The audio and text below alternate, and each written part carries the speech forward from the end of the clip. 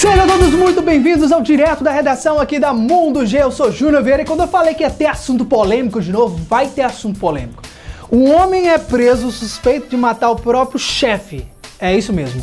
Um funcionário de uma oficina mecânica em Itaituba, no sudoeste do Pará, confessou ter matado o ex-patrão com um tiro após ele ser chamado de gay.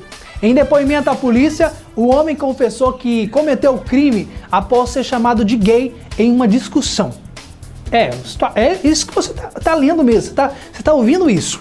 Após o crime, o funcionário se apresentou espontaneamente na delegacia e, segundo a polícia, o suspeito disparou contra a vítima com um revólver calibre 12. Ele tinha conversado com o ex-patrão antes de realizar os disparos. Agora, vem cá. Imagina só, eu, Júnior Vieira, o Rafael, o Rafael trabalha com a gente na museu, ele é hétero. Aí eu viro e falo, Rafael, seu gay. Ô Rafael, viadinho. Aí eu viro e falo com a Xirra, Xirra já é gay já, Xirra já é bicho já. Ô viado, ô drag, ô viado, como a gente já sempre menciona. Imagina se um dos dois resolve dar a louca e, e, mata, e me mata assim, só porque eu brinquei, ou só porque saiu um viado, um gay assim da boca espontaneamente. Foi uma brincadeira saudável, né? Rafael, eu sei que não é, né, Rafael? Até agora, eu sei que não é, né? Tudo bem, não, não tô eu aqui para poder falar nada. A Shiraz eu sei que é, essa aí é sim, viado, é sim. Imagina só, uma brincadeira entre ex-patrão e funcionário acabou em morte por causa disso, né? Tem tanta gente que chama, tanto amigo que chama o outro de viado. Não é isso não, viado.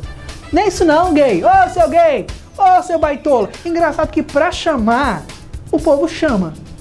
Pra chamar, eles chamam. Mas quando alguém chama ele, aí ele já não gosta.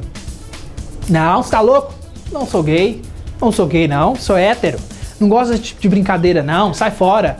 E aí acaba fazendo essa, essa sacanagem aí com uma pessoa que estava só brincando. E os dois, ambos, eles não são gays, nem o patrão e nem o cara. Ou seja, isso foi um ataque supostamente homofóbico por uma pessoa que nem era gay. Imagina só, hein? Então, quando eu falo que a gente aqui da Mundo G vai vir com tudo para martelar com muita notícia polêmica, pauleira, vocês não estão acreditando, né? E essa foi outra notícia que a gente separou direto da redação para vocês aqui. Bom, queria agradecer a vocês pela participação mais uma vez. Curta a gente nas redes sociais. A gente sempre vai estar bem antenado a tudo que acontece no universo, no cenário LGBTQI, ou não.